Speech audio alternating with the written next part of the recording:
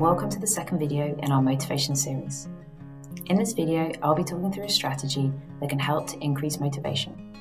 I'd recommend having a pen and paper to hand and trying out this activity alongside the video, and just pause it as and when needed.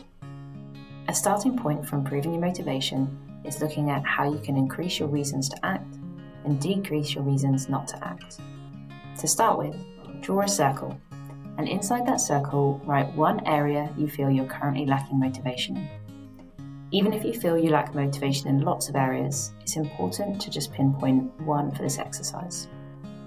Next, on the left hand side, identify your reasons to act. How will you benefit by taking action? Then on the right hand side of the circle, identify your reasons not to act. What is preventing you from taking action? Try and be specific with your reasons. So if you've written something like too tired, can you specifically identify why you're too tired? Having specific reasons will help you with the next part of the activity. Now you've identified your reasons to act, I'd now like you to make a plan of action. Looking at your reasons to act column, is there any way to increase this by adding further reasons or intensifying the reasons already there? And looking your reasons not to act, is there any way of removing any of these barriers? Can you adjust any of them to reduce the impact?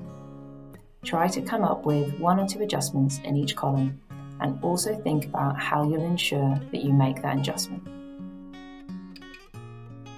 This is just one strategy to try, but it can help to identify what is blocking motivation as well as considering the steps you can take. Try to be realistic about how many changes you can make it may help to start with just one adjustment at first. Remember, it can take time to change habitual behaviour. And it's also okay if this strategy isn't for you. Why not check out the other strategies in the series and see how you get on?